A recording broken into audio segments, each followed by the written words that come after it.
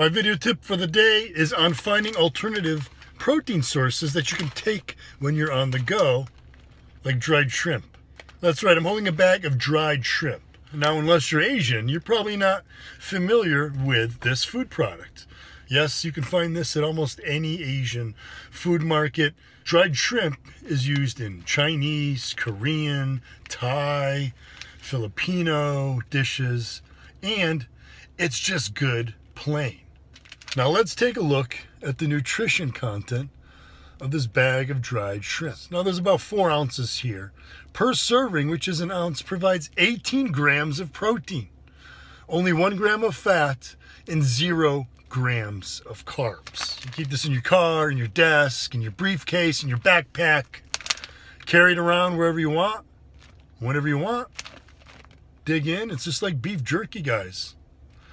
If you're sick of beef jerky, you like shrimp, this is a great alternative. And yes, this is also used in cooking. In Thai cuisine, it's used with chili peppers to make sauces. It has that umami flavor, that fifth flavor, if you will, uh, that provides the taste that's so dominant in many Asian dishes. But like I said, it's a great way to just throw it in your bag and you've got a protein source no matter where you are. The reason I'm actually eating dried shrimp today is, well, first of all, I love it, but uh, I was actually out in my fasting window usually ends around 4 p.m. I thought I would be home well before 4 p.m. Turns out, had a little change in my schedule, so I'm not home. So I live close to Koreatown, so I was driving through, stopped at the Asian market, grabbed a bag, dried shrimp. Like I said, 18 grams of protein, per ounce. This bag right here is about four ounces. So that's over 70 grams of protein right here. Great source of protein. Now, some people will say, oh, that has cholesterol, 180 milligrams of cholesterol, Jim. Isn't that bad for my health? No, actually.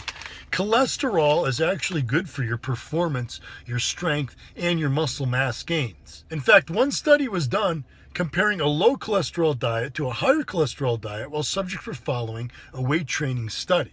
What did they find? Well, they found that the group getting more cholesterol doubled, doubled. That's twice, twice the gains in muscle mass and strength as the group consuming low cholesterol. That's right, guys. Cholesterol is actually important for your muscle function. Cholesterol is important for maintaining integrity of muscle cell. And as the research shows, clearly it's very critical that you're consuming cholesterol in your diet if if your goal is to maximize your gains in muscle mass and muscle strength. So don't fear dietary cholesterol, guys. Most people with cholesterol issues have a hereditary issue with the way that their body produces cholesterol. Don't worry about your eggs. Don't worry about the cholesterol from shrimp. As a matter of fact, try to get in extra cholesterol unless you have an issue with your cholesterol because it's going to help your gains.